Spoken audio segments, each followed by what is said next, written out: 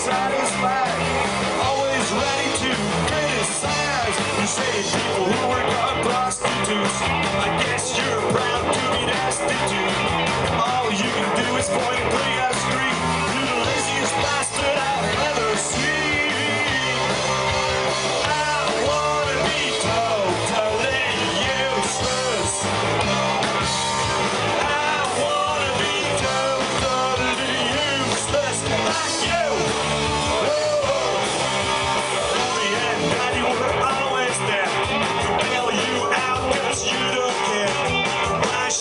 up from back today. Someone else is wiping your ass all day.